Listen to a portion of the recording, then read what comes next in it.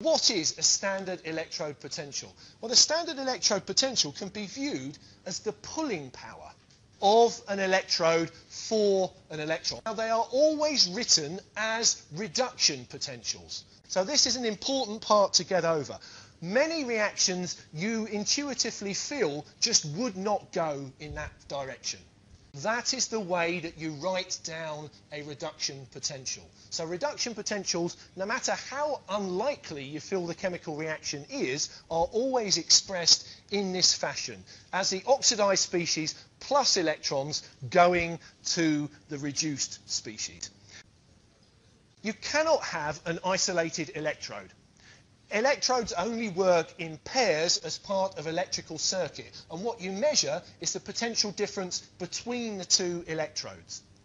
But in order to put these things on some sort of a scale, we have to have a starting point. And often you'll find you want to find something relatively close to the middle of your scale, but ultimately it's going to be pretty arbitrary. And that's what's been done for standard electrode potentials. People have defined the standard electrode potential. For this reaction, the reduction of protons with electrons to give dihydrogen as zero. And so every other electrode potential can be measured relative to the electrode potential, the standard reduction potential for hydrogen. And we have to be very careful when we're talking about electrode potentials because they are measured under very specific conditions. And changes to those conditions can very subtly change the electrode potentials that you actually observe. What are standard conditions? Well, standard conditions for the hydrogen electrode are one molar hydrogen chloride solution and one atmosphere of hydrogen gas, and the electrode itself is a piece of platinum black. So typically, standard electrode potentials comprise solutions of one molar concentration. And if there's a gas involved, then the gas is present at a one atmosphere concentration. What good are these things? Well, if you have an element with a standard reduction potential that is lower than hydrogen, that's telling you that that element is less electronegative than hydrogen. It has less pulling power for electrons than hydrogen does, which obviously is going to translate into a greater tendency for that element to lose electrons. Imagine that you have an ion of zinc, 2 plus, and we have an ion of H plus, a proton in solution, and we add an electron. Where will the electron go? Will it go to the proton or will it go to the zinc 2 plus cation? So the lower the electrode potential, the less attraction for electrons that electrode has.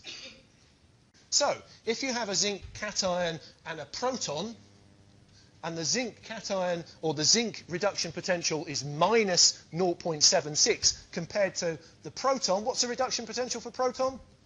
Zero. So which is lower? Minus 0.76 or 0. It's minus 0.76. So zinc is going to lose. Zinc has less electron pulling power than a proton, so zinc will lose the competition for an electron. The electron will go to the proton and generate a hydrogen radical species. If the reduction potential is lower than zero, that means that that element will react with protons to give you dihydrogen gas. There are metals which you can add quite happily to a strongly acidic solution and absolutely nothing happens. Those metals you can now predict very easily because those are the metals that have standard reduction potentials higher than zero. And here's an example. Silver. The standard reduction potential for silver is plus 0.8 so that means that a silver cation will win a competition with a proton for an electron. So if you add protons to a solution or to a solid sample of silver, nothing will happen. You need a stronger oxidizing agent than protons in order to dissolve silver.